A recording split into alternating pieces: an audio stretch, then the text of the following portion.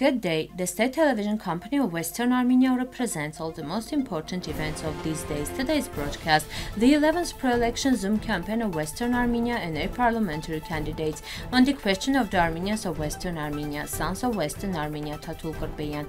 We strongly condemn the actions taking place in the Berdzor corridor and on the Armenian border. World Health Organization. Violation of ceasefire in Artsakh. Azerbaijani soldiers shot at workers in the park. May 19 is the day of commemoration of the victims of genocide committed against the Greeks. The exhibition of the new collection of the Shushi State Museum of Fine Arts was opened in Stepanakert. On May 18, 2023, the 11th Zoom meeting was held for the candidates for the December 2023 elections to the National Assembly of the Republic of Western Armenia. The topic of the meeting was Artsakh War and Western Armenia. The President of the Republic of Western Armenia, Armenak Abrahamian, presented Western Armenia's point of view on the current situation in Artsakh and emphasized that from the regional and legal point of view, Artsakh. He noted that since Western Armenia is under the responsibility of Armenia, they continue their struggle in the legal arena. Talking about the term cultural genocide, we cannot but refer to the destruction and impoverishment of the Armenian Christian culture in the occupied territories of Artsakh by the Baku government during the 44-day war and since November 9. This testifies to the policy of the Azerbaijani state to destroy the traces of the Armenian spiritual heritage. In addition, the Armenian culture is being Aghvanized. Churches and other monuments are being denied as Armenian and attributed to Aghvans. In order to record the state of Artsakh cultural heritage and its changes, the monitoring of Artsakh's cultural heritage program was created in 2021. According to the platform, about 90 Armenian cultural monuments were destroyed in the territory that came under the control of the Baku government after the war. On March 29, 2021, a video was published showing Armenian churches being used for military purposes. Azerbaijani soldiers are living in the churches. During the filming, the soldiers were eating. Beds and other things were seen in the footage. In Shushi, the cultural center of Artsakh, the Surb Amenaprkich church and church was severely damaged during military operations. On October 8, the Azerbaijani army shelled the church twice. International Human Rights Watch considered this a possible war crime. After the capture of Shushi, its sanctity was desecrated. The Azerbaijani army wrote notes on the walls of the church. Months after the war, it became known that the Azerbaijani had restored the church and the dome of the church was removed. All this gives the government of Western Armenia an undeniable basis to claim systematic vandalism of our Armenian cultural heritage and to demand international condemnation and prevention of these crimes in order to protect the cultural heritage of the indigenous people of Artsakh. Tatul Krpeyan, participant of the Artsakh War, national hero of the Republic of Armenia during the Artsakh Liberation War from September 1990 to May 1991, he was the general commander of self-defense of the Getashen sub-region. Tatul Krpeyan was born on April 21, 1965, in the village of Arek, Talin region of the Republic of Armenia. From 1972 to 1982, he studied and graduated from the secondary school of his native village. After finishing school, he served as a soldier in the Soviet army. Krpeyan was a prominent leader of the Yas wing of the Artsakh movement, an organizer of mass marches and rallies, sit-ins and strikes, and pioneer of propaganda among students. In September 1990, Tatul traveled to Artsakh, where the situation continued to deteriorate. On April 30, 1990, on the day of the start of the military operation Ring, Tatul Krpeyan captured 17 Soviet soldiers, an Azerbaijani escort, and Soviet Army Colonel Mashkov, from whom he received the plan for the military operation Ring, jointly implemented by the Soviet Army and the Azerbaijani Special Purpose Mobile Unit. On April 30, 1991, he died during negotiations in Getashen. On the same day, during the negotiation in Getashen, his deputy commander Artur Karapetyan and Hraj Danielyan were killed together with him.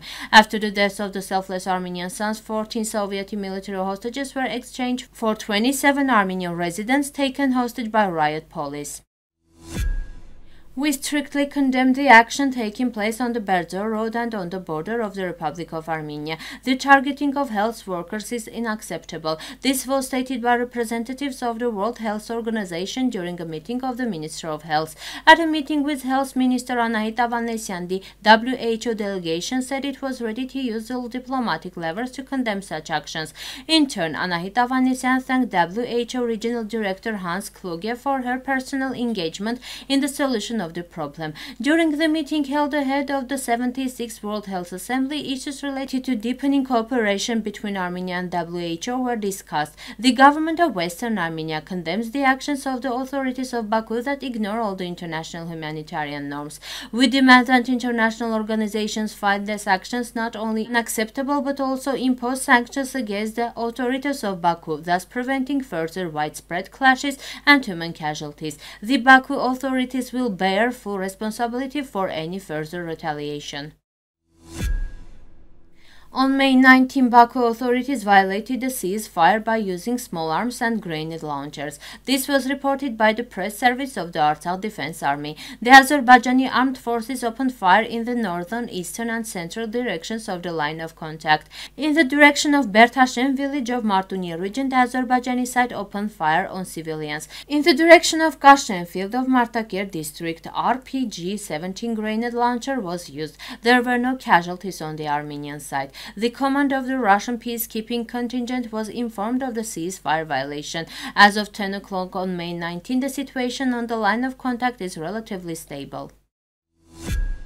The genocide of the Greeks of Pontus was the last part of the genocides committed against the indigenous peoples and Christians, which began in 1894 with the massacres of the Armenians by Abdul Hamid II and continued in the following years by the Committee of Union and Progress, resulting in the deaths of 1.5 million Armenians and about 300,000 Assyrians. The genocide of the Greeks in Asia Minor and Pontus was planned in advance by the Young Turk authorities and carried out simultaneously with the genocide against Armenians Armenians. During the 1960 to 1923 genocide of the Pontus Greeks, more than 353,000 indigenous Pontus Greeks were massacred and the tens of thousands of children and women were converted to Islam. Not only is there no mention of the genocide in the Turkish state, but hate speech and anti-Christian policies continue to deepen and are used more frequently by political leaders.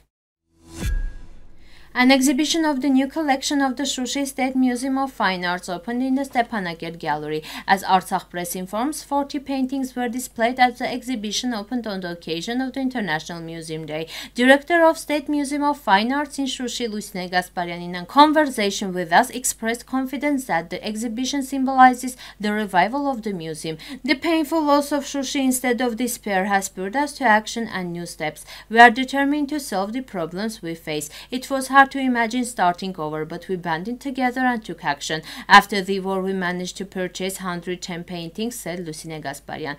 Deputy Minister of Education, Science, Culture and Sport, Lernik Hovanesyan, said, It is the duty of all of us to preserve and develop our cultural cultural identity in the current cruel struggle. The struggle for our vision, holistic Artsakh, not only in the military, political and economic, but also in cultural, educational field. The government of Western Armenia reminds Shushi has always been the cultural cultural center of Artsakh and has always been the focus of nomadic tribes deprived of their own culture. Nomadic tribes lacking their own culture have always appropriated and continue to appropriate the culture of the indigenous people. This is not the first case, but it will be the last. It is the indigenous people with their culture that gives birth to love, that creates a national ideology that gives eternity. Now the musical part, the Armenian folk song.